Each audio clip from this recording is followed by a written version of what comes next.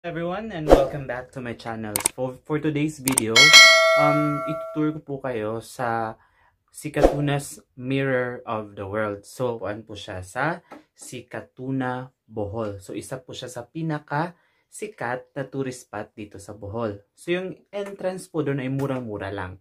So, 120 pesos po kapag umaga tayo nagpunta.